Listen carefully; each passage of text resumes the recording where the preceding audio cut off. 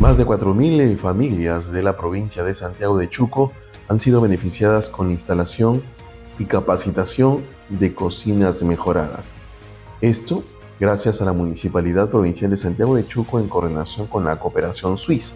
Las familias reciben la capacitación para poder mejorar la salubridad y preparación de los alimentos, pero a su vez también para evitar que el humo tóxico afecte su salud.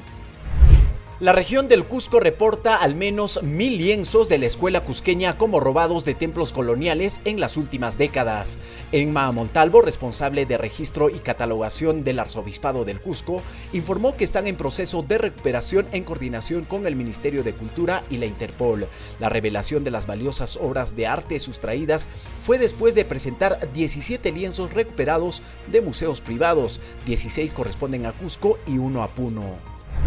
Personal de fiscalización de la Municipalidad Provincial de Arequipa visitará los 65 centros comerciales que operan en el cercado de Arequipa con la finalidad de verificar que estos cuenten con su licencia de funcionamiento y certificado de defensa civil.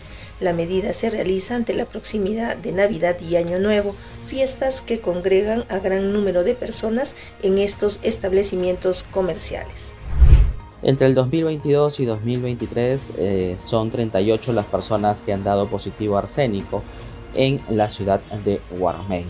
El director regional de salud de Ancash ofreció una actualización de las cifras e indicó que esta estadística proviene de estudios realizados a personas a través de muestras de orina. Los ciudadanos que han dado positivo arsénico vienen recibiendo atención médica en Lima en el Instituto Nacional de Salud del Niño y el Hospital Cayetano Heredia.